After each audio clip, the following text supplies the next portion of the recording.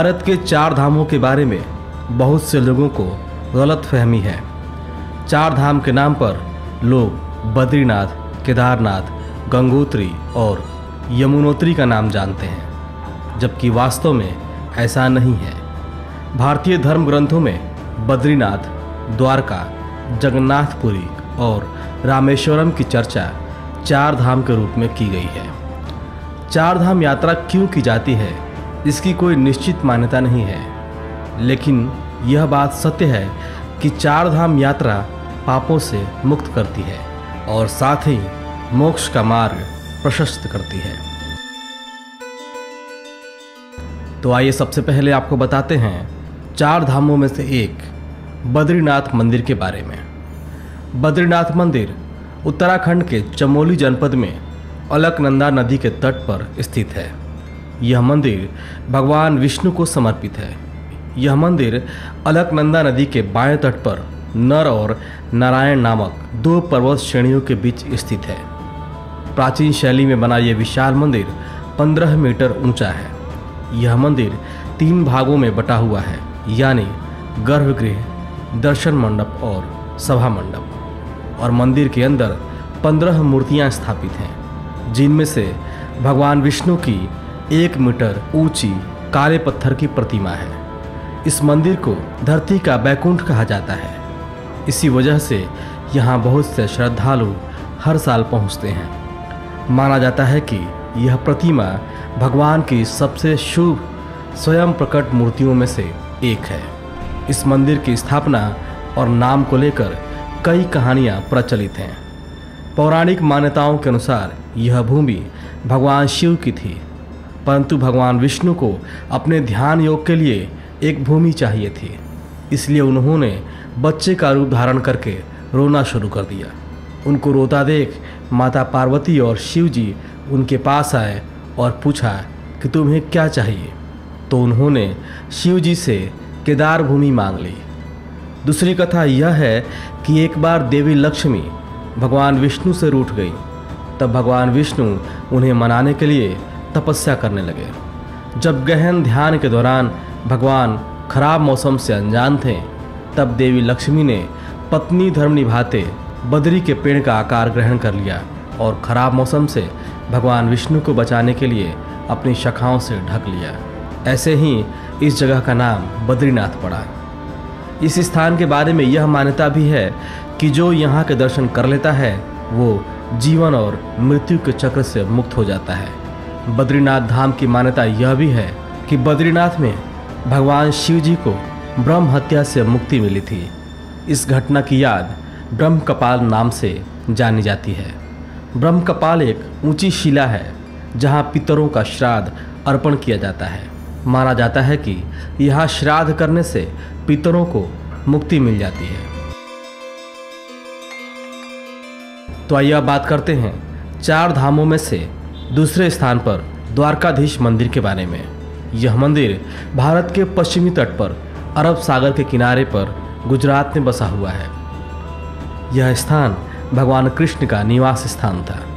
भगवान कृष्ण के शासित राज्य के अलावा, भगवान विष्णु ने भी यहाँ शंखासुर नामक राक्षस को मारा था। द्वारका की स्थापना के पीछे भी एक कहानी है। जब भगवान श्री कृष्ण ने मथुरा के अत्याचारी राजा कंस का वध किया तब कंस के ससुर मगधपति जरासंध ने कृष्ण और यादवों का कुल नाश करने की ठान लिया। अपना बदला लेने के लिए वह मथुरा और यादवों पर बार बार आक्रमण करते रहे। इस वजह से भी श्री कृष्ण ने यादवों की सुरक्षा को ध्यान में रखते हुए उन्होंने मथुरा को छोड़ने का निर्णय लिया और सभी के लिए एक नई नगरी बसाने को सोचा। अतः भगवान श्री कृष्ण ने द्वारकापुरी की स्थापना का निर्देश विश्वकर्मा को दिया। जिन्होंने एक ही रात में इस नगरी का निर्माण पूरा कर दिया। उसके बाद श्री कृष्ण अपने सभी यादव बंधुओं के साथ द्वारकापुरी चले गए। श्री कृष्ण ने द्वारकापुरी पर 36 वर्ष तक शासन किया और जब श्री कृष्ण ने बैकुंठ प्रस्थान किया तो भगवान की यह नगरी स्वतः ही समुद्र में डूब गई और केवल श्री कृष्ण का मूल मंदिर ही बचा रहा। कहा जाता है कि आज भी उस नगरी के अवशेष समुद्र के भीतर मौजूद हैं। परंतु इस पर भी अलग अलग मत है। कहा जाता है कि नगरी के डूब जाने पर श्री कृष्ण के परपोते वज्रनाभ ने मुख्य मंदिर का निर्माण कराया, जो कि 2500 वर्ष पुराना है। यह मंदिर सतमंजिला मंदिर है, जिसके दो दरवाजे हैं, जिनका नाम है स्वर्ग द्वार और मोक्ष द्वार इस मंदिर की ऊंचाई करीब एक फीट है और इस मंदिर के ऊपर एक शिखर है, जो 43 मीटर ऊँचा है। जिसके ऊपर एक विशाल ध्वज लगा हुआ है, जिस पर सूर्य और चंद्रमा बने हुए हैं। इस ध्वज की खासियत यह है कि यह इतना बड़ा है कि इसे 10 किलोमीटर के दूरी से भी देखा जा सकता है। इस ध्वज को दिन में तीन बार बदला जाता है।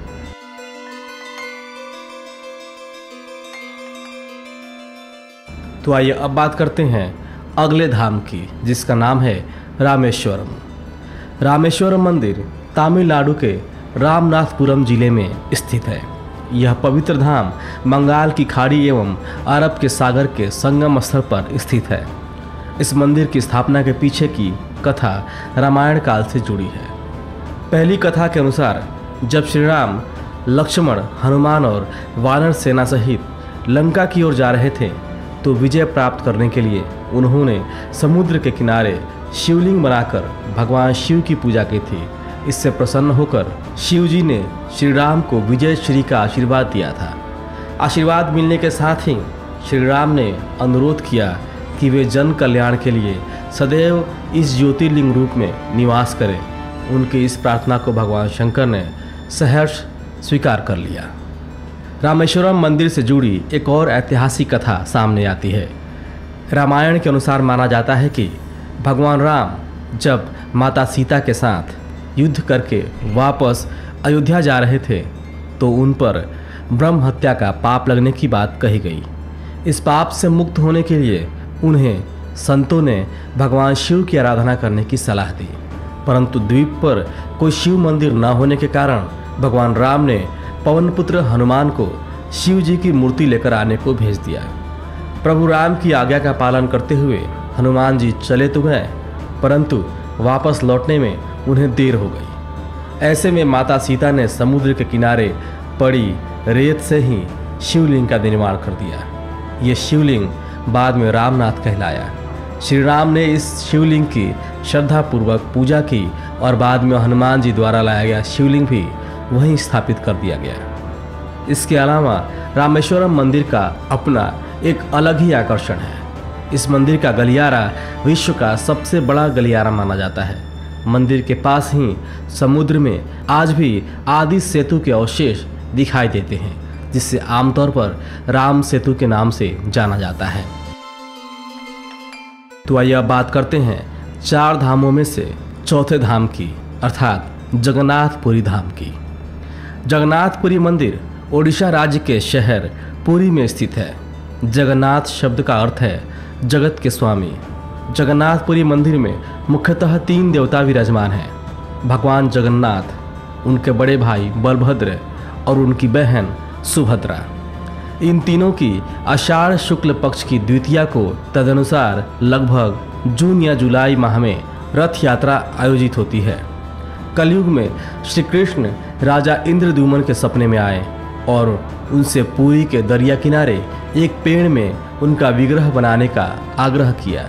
और बाद में उसे मंदिर में स्थापित कराने का आग्रह भी किया। आदेशानुसार, राजा इस काम के लिए एक बढ़ाई को ढूँढने में व्यस्त हो गए।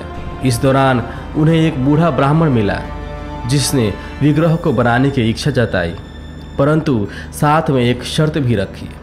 शर्त ये थी कि इस विग्रह को वह बंद कमरे में बनाएँगे और काम करते वक्त कोई भी कमरे का दरवाज़ा नहीं खोलेगा, नहीं तो काम अधूरा छूट जाएगा। काम शुरू हुआ। कुछ समय तक बंद कमरे से आवाज़ आई, परंतु कुछ समय बाद उस कमरे से काम की आवाज़ आनी बंद हो गई। राजा और रानी को संदेह होने लगा। कहीं उस बूढ़े व्यक्ति को कुछ हो तो नहीं गया। इस चिंता के चलते राजा ने उस कमरे का दरवाज़ा खोल दिया। दरवाज़ा खुलते ही राजा को अपने सामने अधूरा विग्रह दिखाई दिया। तब राजा को एहसास हुआ कि ब्राह्मण और कोई नहीं, बल्कि खुद विश्वकर्मा थे। इसके बाद राजा ने उन अधूरी मूर्तियों को ही मंदिर में स्थापित करवा दिया। यही कारण भी है कि मंदिर में कोई पत्थर या फिर धातु की मूर्ति नहीं, बल्कि पेड़ के तने को इस्तेमाल करके बनाई गई मूर्ति की पूजा की जाती है। जगन्नाथ मंदिर भगवान विष्णु के आठवें अवतार श्री कृष्ण को समर्पित है। वर्तमान में जो मंदिर है, वह सातवीं सदी में बनाया गया था। यह मंदिर अतीत में तीन बार टूट भी चुका है। इस मंदिर के संबंध में एक आश्चर्यजनक बात यह है कि मंदिर के ऊपर स्थित लाल ध्वज हमेशा हवा के विपरीत दिशा में लहराता है और इसका कारण आज तक स्पष्ट नहीं हो पाया। साथ ही इस मंदिर के शीर्ष पर स्थापित सुदर्शन चक्र भी अपने आप में खास है। पूरी में किसी भी स्थान से मंदिर के शीर्ष पर लगे सुदर्शन चक्र को अगर देखा जाए तो हमेशा यही लगता है कि वो हमारे सामने है। इस चक्र को नील चक्र भी कहा जाता है, और यह अष्ट धातु से निर्मित है। हमने इस वीडियो में पवित्र चार धामों की संक्षिप्त जानकारी देने की कोशिश की है। इन अलग अलग धामों की विस्तृत जानकारी के लिए हमारे इस चैनल पे अन्य वीडियोस को ज़रूर देखें, जिसका लिंक डिस्क्रिप्शन में और वीडियो के अंत में दिया गया है। इन धामों से संबंधित आपके पास भी कोई जानकारी या वीडियो हो तो हमारे साथ कमेंट बॉक्स में ज़रूर साझा करें। इसी प्रकार के अपडेट्स लेते रहने के लिए हमारे चैनल हिंदू रिचुअल्स को सब्सक्राइब करना और बेल आइकन को क्लिक करना ना भूलें। धन्यवाद।